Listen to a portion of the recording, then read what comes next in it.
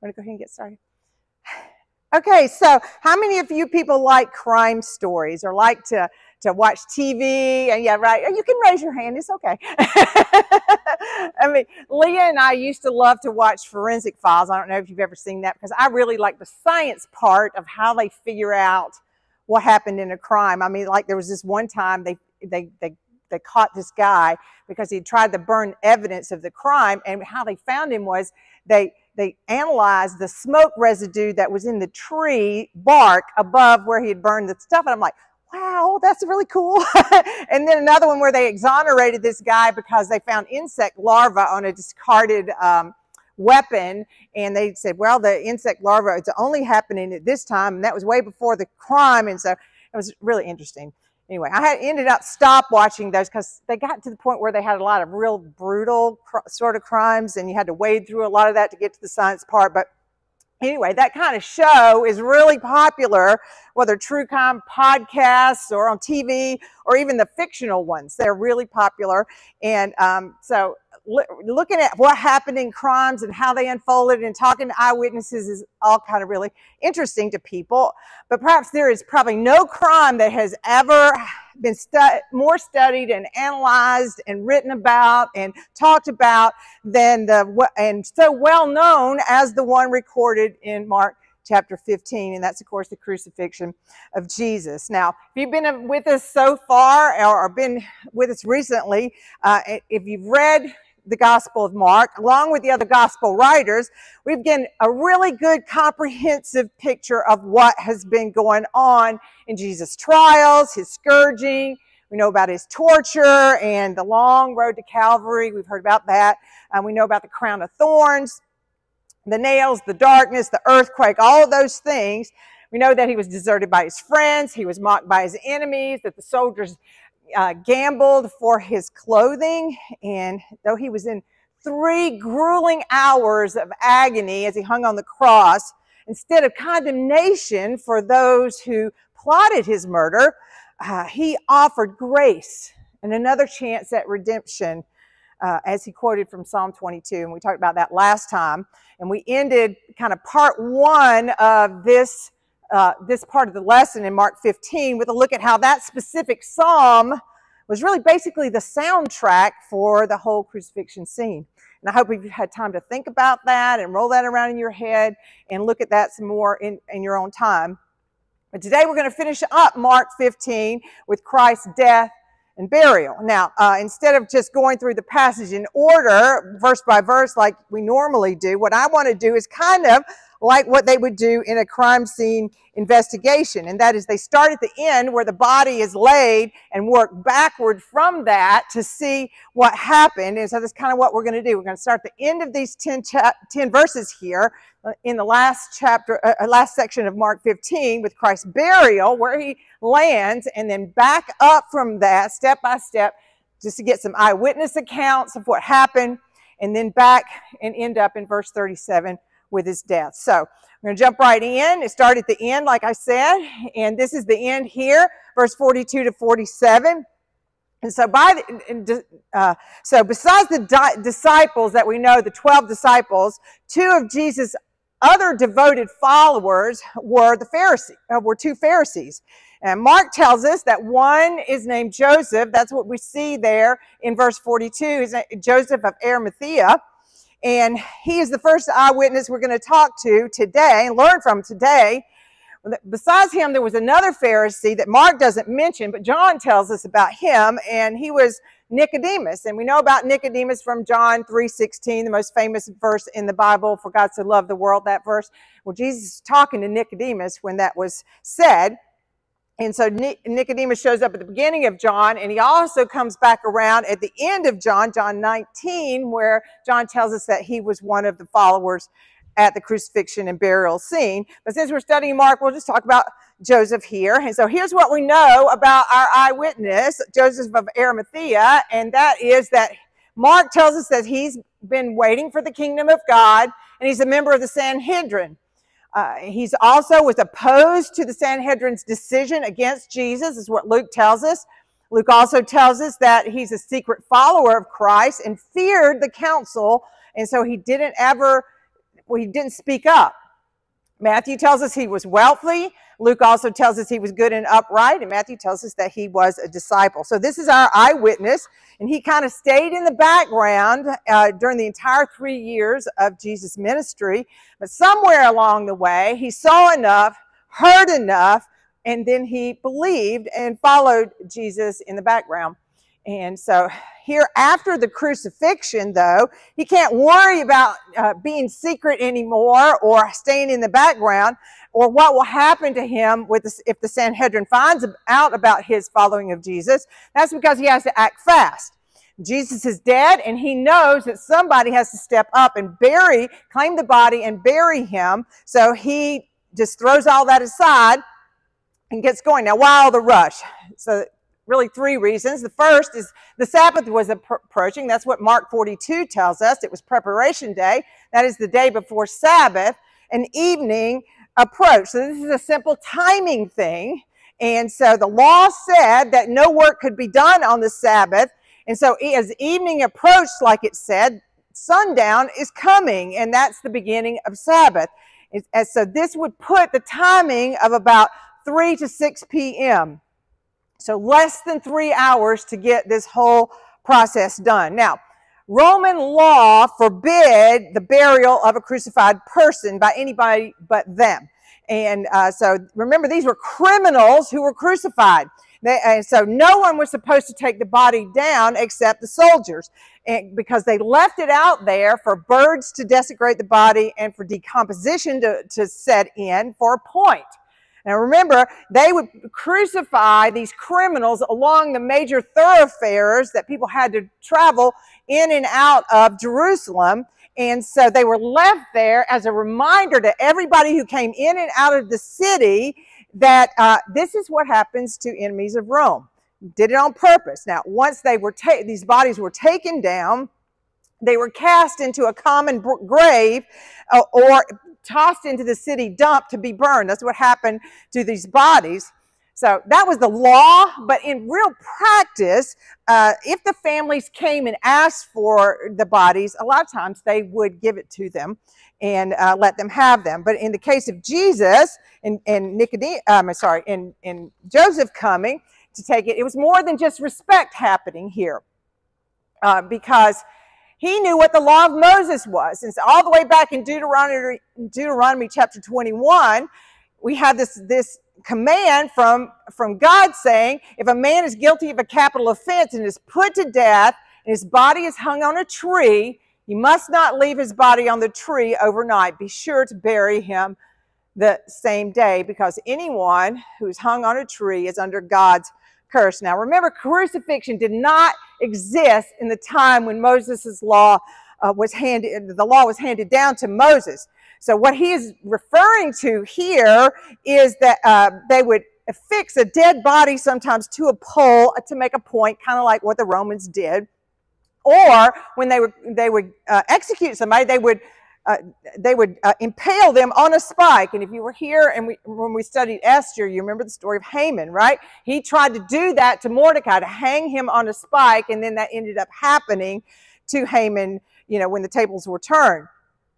So, uh, so the law didn't forbid the practice of doing that, but it told said you could only allow them out there for a short time.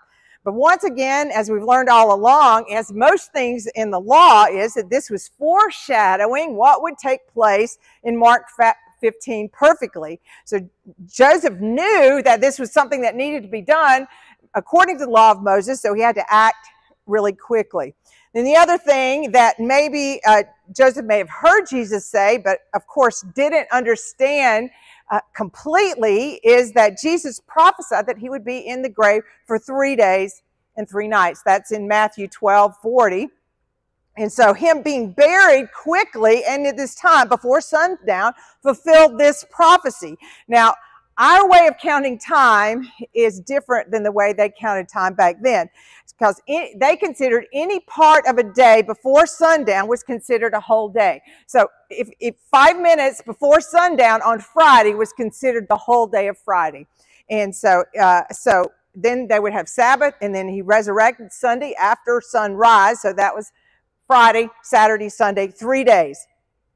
So none of the gospels really give us any details. All we know that of how this happened, because this would have been a complicated, difficult process. I mean, if you've ever tried to help somebody who can't bear their own weight, you know how heavy that can be. So we don't know exactly how it happened, only that he had a clean linen cloth, and then once he got him down, he placed him in his own new tomb. Now, this actually fulfills an Old Testament prophecy in Isaiah, but we don't have time to dig in that today. But so this is Joseph. This is our first eyewitness. Our second eyewitness is the women in verse 47 at the end, and then verse 40 and 41. We'll see those. Uh, and so you can see that these verses here identify this group of women at the crucifixion, and two of them in verse 47 watched long enough and stayed with it long enough to know where the tomb was and where Jesus' body was laid. Now, this group of women is noted in all four gospels. And this is not just an insignificant fact that there were some women there, eh, because the gospels tell us that the only people that stayed to the end of this gruesome ordeal are these women. And if you put this section with what we will re- learn about next week in chapter 16, then you'll see that these, these women, this group of women, are established as the only eyewitnesses to all three events the crucifixion, the burial, and the resurrection. See, the disciples are gone. John was there for a little while, but by this time he's, he's gone. Joseph and Nicodemus, they only show up at the end here, and no one but these women are present at the resurrection of Christ. So besides these girls, everybody else has deserted Jesus. Now, here's the thing to remember about this group, group of women seems kind of unimportant. Why are you majoring on this? But it is actually a key point in why we can believe that the scriptures are accurate about the account of Jesus, especially in his death, burial, and resurrection. And, and we can know for sure that the story wasn't made up like a lot of people charge that it was. So if you could think like a detective, like we're trying to do here today, you have to consider the uh, status of women at this time in history. They were not seen as credible or reliable uh, witnesses to anything. Even Luke tells us that when they went and told about the resurrection, that they did not believe them, and it seemed to them like nonsense. Some other translation say that it, it seems like idle tales. And uh, that's kind of consistent with the way that women were thought about during this time. They were prone to fantasy and making up stories, and what they said was not given a lot of weight by really anybody. Um, the testimony of women was not accepted in court at all during this time. They couldn't couldn't uh, represent themselves or even be represented uh, in in court. So, if you were a group of guys that were trying to make up a story about Jesus rising from the dead, who would you pick as eyewitnesses to his resurrection? Or who would you want to be the ones who authenticated where he was buried? Not a group of women, right? That would weaken your story, not strengthen it. So it would have been better to say that the people who saw his resurrection was Joseph of Arimathea or Nicodemus or any of the disciples. But accounts featuring men as the eyewitnesses would be much, much stronger.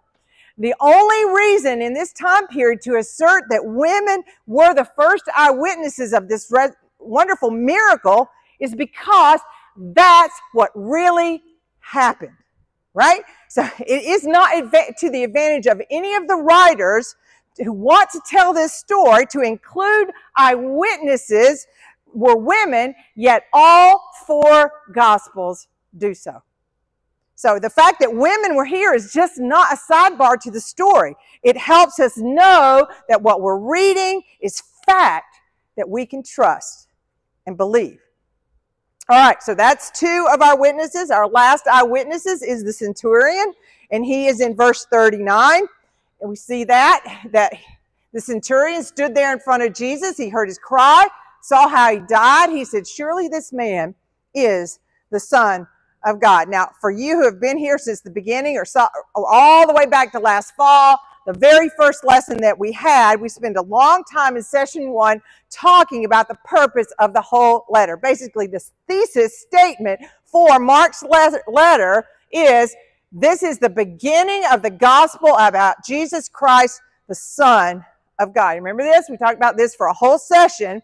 This is the point of Mark's whole letter that we see what happens, what he said, what he did, what, how people responded to him, and understand that Jesus is the Son of God. That's what all the miracles, all the power, all the authority was meant to show us. Not that he's a great guy, that we should live by his rules so we be happy and healthy and all of that, like many people say today, right? He's a good man, like what he said, but they don't want to go as far as saying what Mark is trying to tell us here.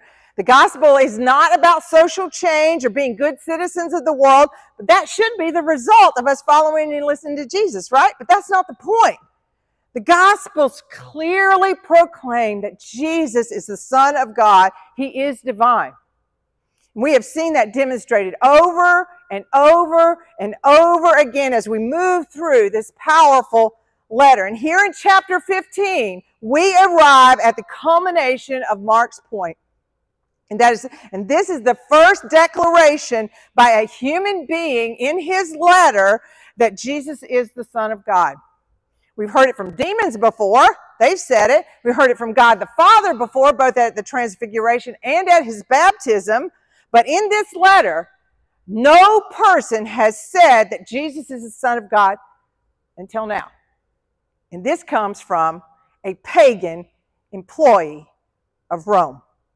Now, this was a hardened guy. This was not any pale faced recruit who's at his first uh, execution here. This is a reasoned, conclusion of a guy who has been present and overseeing the, and orchestrating the death of hundreds of men in his tenure during the army. And it wasn't because he didn't come to this conclusion because he saw a miracle or he heard Christ teach or he healed somebody in his family. It says here in verse 39 that when he saw, heard his cry, and saw how he died, that he was convinced that he was the Son of God. Now, this has been no ordinary day for this guy, right? I mean, he's been a lot of executions before, uh, but this one has earthquakes and he has darkness. There's lots of people around. There's Jewish leaders there. Uh, and, and then this cry from Jesus that we'll talk about in a minute. Uh, this had a huge impact on this guy. But what Mark says here is that this centurion, he stood close and saw how he died, then he believed. This is not just stating what you might expect the guy to say that, oh, this guy was innocent, or he's been railroaded by all of these Jewish leaders. Uh, oh, he must have been a good man. That's not what the centurion says. He's affirming Jesus' righteousness as the divine Son of God. It's different, right? It's a very bold statement that this guy makes, and it indicated a complete alteration in the basic things that govern this guy's whole life, and especially in his job as a centurion in the Roman military. I mean, he has sworn allegiance to the emperor here. And he's the only one who, in the Roman mind, would have the right to the title Son of God, little g. They thought that the Caesars were divine. And so he, the Caesar, was the embodiment of Roman majesty. You can imagine all the pomp and the majesty and the lavishness that came with everything that Rome was during this time. But this centurion here, he breaks his code, breaks his allegiance in front of his battalion, by the way, and bestows the title reserved only for Caesar on a Jew who ironically has just been executed by him. Okay? So Jesus looks the very opposite of what the might and glory that came with Rome was all about. So, how did this transformation take place inside this guy? Well, it's the same way that it took place in Peter or any of us, right? Matthew 16, Jesus says, This was not revealed to you by man, but by my Father in heaven. This is the Holy Spirit doing his thing in this guy's heart, right? He always points us to the crucified Savior. He enlightens us so we can see and believe. He helps unbelievers see the truth. That's what he does. That's part of what his job is and what he does right here in this man's heart. This guy didn't take a class. He didn't see a booklet with the four spiritual laws. He didn't do any of that other stuff. Now, the Holy Spirit can use all of those things, but he doesn't need them to do that, right? I mean, um, you can contrast what happened in the heart of this centurion with what was going on in the hearts and minds of the Jewish leaders, right? They're standing there watching the exact same thing happen, the exact same, same scene, right? And they have all the laws, all the rules, and thousands of years of religious history in their background, and they missed it. Their eyes were closed, their hearts were closed, and they mocked and belittled Jesus, and they missed it completely. But this man had basically no training, no understanding about any of that stuff, and yet he saw what was right in front of his eyes. And then he believed. And he opened his mouth to give us a convincing statement of who Jesus really is. All right, so those are our, our, witnesses. Now let's back up to the details of Christ's death. We have two things that we're told here in this section. And first is about the temple veil.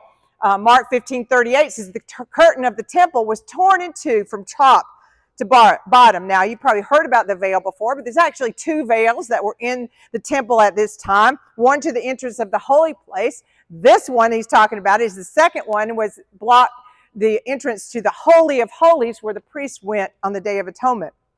Now, I don't know what you think about this veil or what you had in your mind, but I always kind of imagined it like this big black curtain that might be like a stage curtain if you go to the theater, right? A little bit thick, uh, thicker than um, like, you know, a curtain at your house, but, you know, big, black, tall, but that's not what it was. I don't know where, where I got this, but that's just what was, what was in my head.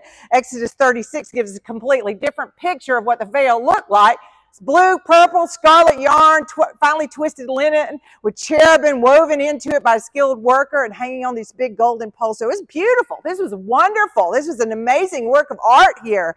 And it was also really, really big 60 feet wide, 30 feet tall.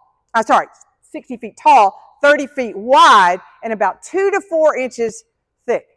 That's a thick curtain, right? I mean, uh, and uh, one Jewish writer was talking about this veil in a, a, work outside of a scripture, said it was so heavy that it took hundreds of priests in the temple to manipulate this thing and move it around.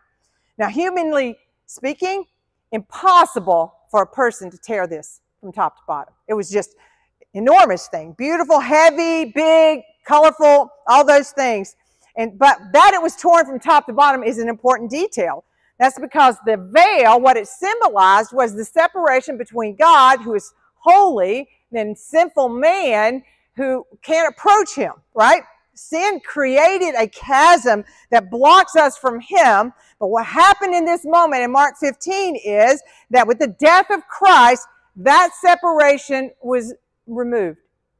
The temple blocking us from interacting with a holy God was torn in half. It was also the beginning of the new covenant. Now, the old Mosaic covenant was what Hebrews said then became obsolete with the death of Christ. Remember when we talked about this, when we talked about the Last Supper and what the new covenant was? And so, it, just like the old covenant, it was instituted by blood sacrifices. And Christ, as Christ gave himself over to death in this moment, his blood became the seal for this new covenant. And then I remember that there was an earthquake going on, darkness, and all of this at the same time. It's a terrifying scene. You can imagine what it must have been like. And uh, so, but that seismic shift that was happening in the physical earth, that was, things were moving and shaking, just mimic the seismic shift that happened in the spiritual realm at the same time.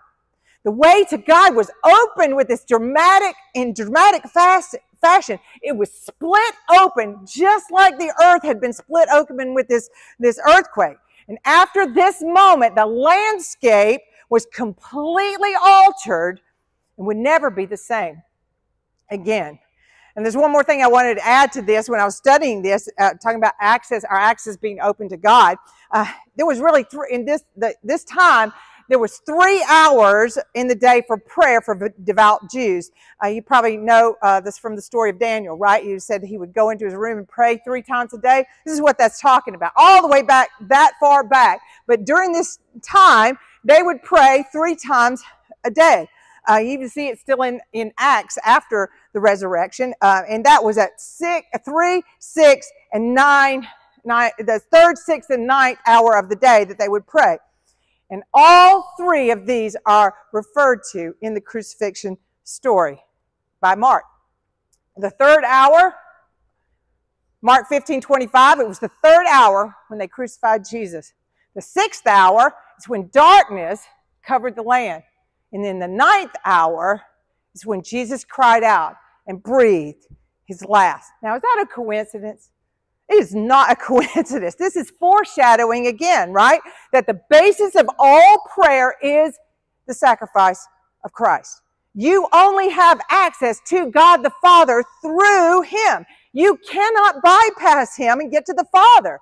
Our prayers just bounce off the ceiling if we try to go around Jesus. We come to God by the way of the cross. This is Isaiah 59, 1 and 2 even says very clearly, the Lord is not too short to save, nor his ear too dull to hear, but what? Your iniquities have separated you from your God.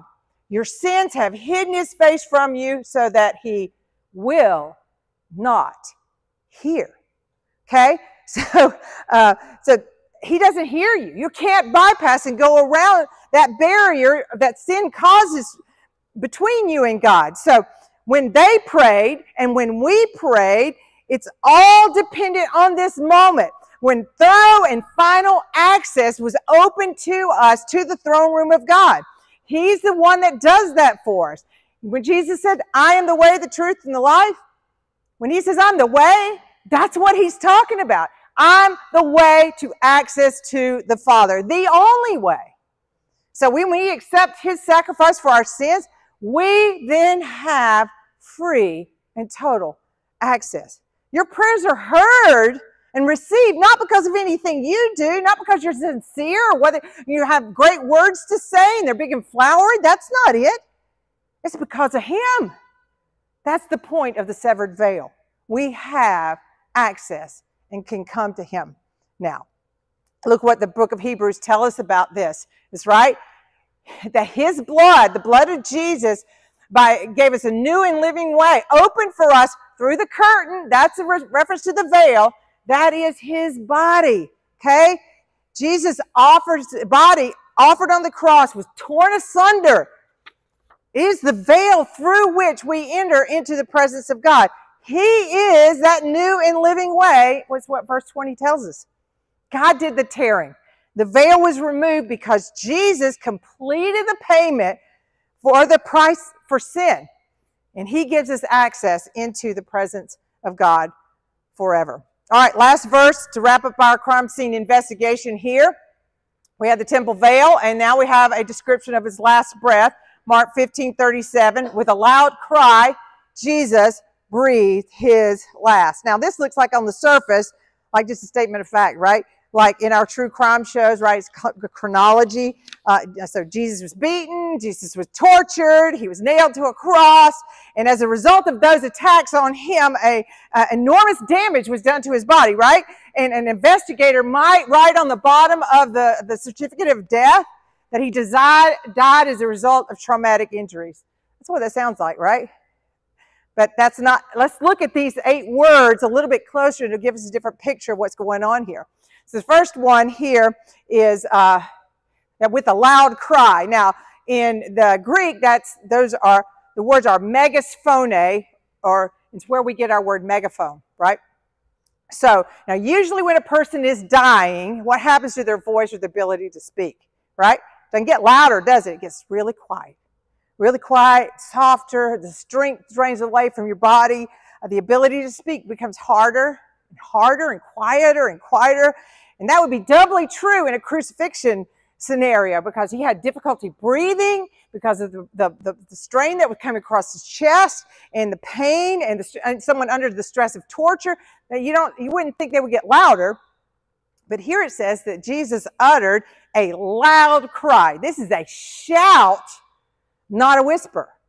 And so uh, so what does he shout? Mark doesn't tells us but john does says isn't it finished and then he bowed his head and gave up his spirit Okay, so the word here, some of you may have already heard this before, but the word here for it is finished is a single Greek word, and the word is tetelestai, which means paid in full.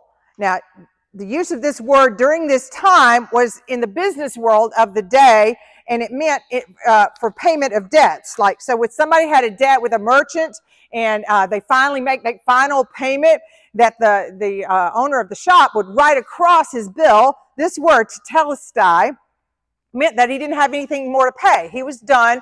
He didn't have any, uh, his debt was satisfied. And that, of course, is the meaning here, too. When Jesus gave himself on the cross, he fully met the righteous demands of the holy law. Every single one of them. Everything was met. Everything was done. He paid our sin debt in full. And uh, so none of the Old Testament sacrifices that we that they've been doing for hundreds of years could pay for sin. They only covered them. The blood covered them, and they had to keep repeating them over and over and over again.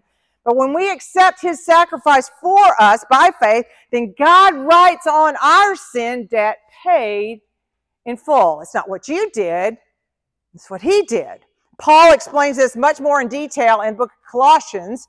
He tells us that he forgave all of our sins having canceled the written code, that's what that's talking about, with its regulations that were against us, that stood opposed to us. And the reference to that written code there would be the law that condemns us, right? We're all guilty. We stand before the law. It's like, okay, you didn't even keep one of them, let alone all of them, right?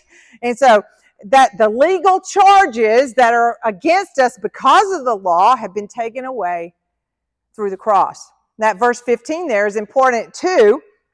So while all the evil and twisted uh, spiritual forces were celebrating and excited about the Mormon of, of, of the death of Christ, thinking that they had won, what was really happening was another paradox that we saw last time is, is that they were being made a spectacle of because his death disarmed them. They have no power over followers of Jesus. Sin's power is broken. And what they thought was a triumph over him, uh, uh, and it was over everything that was godly and holy, they were being triumphed over in this moment. All right, back to Mark, Mark 37 to wrap this up. So here we have that uh, Jesus breathed his last, the rest, rest of that. Um, so we have the loud cry, opposite of what you would think in this moment. This is a cry of victory, not defeat.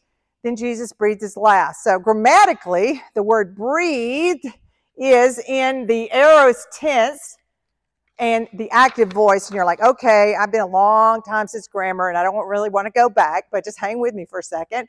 The aorist tense means a completed action. That means it's once and done, one time happened. And so the so what here it would mean in this moment in time that is in 33 AD Jesus' respirations stopped. He didn't breathe another breath after this moment. So that's once and done. Okay? The second, the active voice tells us that the subject is carrying out the action. And it is a voluntary choice. And this is important because it was an act of his own will that he took that last breath. Okay? So uh, this is what John says, uh, what Jesus says in John 10 18. No one has taken my life away from me, but I lay it down on my own initiative. This is what he was telling them here. So, uh, so Jesus was not the victim of lies and plots of Jewish leaders. Uh, he was not the casualty of a Roman execution squad. No amount of torture would have been sufficient to kill Jesus. Okay? Death only came to Jesus when he chose to surrender to it. Remember this quote from a couple of lessons ago? Others may act against Jesus Christ, but they don't act upon him. This includes death, okay? It had no power over him. The beatings, the cross, the lack of breath, the torture, none of that could overpower him and cause his death. Why? This is what the Bible tells us. The wages of what? Sin is death. Ezekiel 18 20, the soul who sins dies. And 1 Corinthians 15 56, the sting of death is sin. Okay? Death only reigns where sin resides. Jesus committed no sin. His body, soul, and spirit were untainted. Jesus knew no sin, so death could not overpower him. And here in Mark, we see that Jesus chose instead by an act of his will to hand himself over to death. Now, at any point in this process, Jesus could have stopped what was going on. He could have spoken out and said, no more. He could have called for that legions of angels that we talked about last week to rescue him. And all of heaven's power was available to him at all times. He was not the victim of what they were doing to him. He willingly chose to endure the hostility and brutality with the full ability to end it at any point in time. Now that should make us marvel at this all the moment, all the more, right? I mean, what thing in your life that's causing you pain would you not choose to exit if you had the power to do it, right? All of them? Yes, all of them. go ahead and go ahead and agree to it because if the truth be known, most of our prayers are attempts to find the exit portal, right? God, free me from this. Change that. Don't do this anymore because it's causing me pain. It's causing me hurt. I don't want it. That's what we usually pray about it, right? We want to get out by any means necessary. But he knew what was coming and it, endured it fully and chose to stay. That was a free choice on his part. And just as the free choice given to Adam and Eve in the garden brought us into the bondage of sin, his free choice to submit to death on the cross would walk us out of it. Okay? So we talked about this a little bit. Uh, uh, uh, we talked about this a little bit last week, but the cry of Jesus from the cross, just a few verses before this, was not expression of Christ, abandon, Christ being abandonment, but God, the entire Trinity, the Father, Son, and the Spirit were 100% together, always together, bringing forth the offer of salvation to humanity in this moment. That's what 2 Corinthians 5 19 says. God was reconciling to the world to himself in Christ, not counting people's sins against them. God has never run from sinful people. He was, and He still is, the instigator of the restoration of a relationship, which is exactly what we see in Mark 15. God is powerful enough to swallow up sin and to cleanse us from it and to bring about our wholeness through Christ. Only He can do that. When Christ did, so did sin's power was ended for all of us who believe. Remember that. This is what's happening on the cross. That is super important to understand. He chose to die. Now, who would do that for you? Only one who loved you and cared for you with an, in an overwhelming and unmistakable way. It was his choice to die for you that leads you to a choice of your own. And that is, will you choose to live for him? It's just as much of a choice for us as the choice it is was for him to die. Voluntary and deliberate. So at the end of our crime scene investigation here, uh, it, it might be, now what you need to do is do something very similar to what the centurion did. That is see Jesus as the true, only one Son of God. Might be for the first time in salvation, or it might be that you were saved a long time ago, but the culture has kind of pasted itself over the top of your commitment. And what you need is a seismic shift from passive to active faith, active belief, just like this guy, he, to see who Jesus is and to let him rewrite everything that your life has been built on. Or you might need to be like the women who have followed and served for a very long time. Now, but though, be willing to say, I know because I have seen and I have experienced firsthand who Jesus really is. So it's time to be an eyewitness to what you know to be true, even if what people think you're saying is nonsense. Right? Or finally, where most of us probably land is be like Joseph of Arimathea. Um, that is, we kind of are disciples in secret for the most part. We believe, but maybe we're a little nervous about speaking up about what might people might say or think. But because now of Christ's voluntary decision to die for you, because of what you know, what you believe, what you have seen, what you understand about Him, you need to make a decision to stop being afraid of what others might say or, uh, or what it might cost you. And allow your belief in Christ to motivate you to change. And remember, just like Him, time is short. Night is falling for all of us. You only have a short time to act. And that's what Joseph of Arimathea did uh, in this moment and what we're called to do right now. We're witnesses of the truth. We know it. Just as surely as all these people, it's time to put something into action and say what we believe. Because Christ chose death, it enables us to choose life, choose a life of faithfulness, and allow it to permeate everything we are. Amen? God, we just thank you for all the details that you can just read right over and not really get the impact. But God, it's, your word is so deep and so broad and so full. God, help it, help us to read it with new eyes and to hear the voice of the Holy Spirit that calls us to action. Not just to read, not just to stand by and, and, and look at what happened, but call to action, to be those faithful witnesses to what we know to be the truth. God, give us encouragement, challenge us where we need to be challenged, uh, to change whatever it is in our lives that would make us faithful followers of your Son, Jesus Christ. It's in His name we pray. Amen.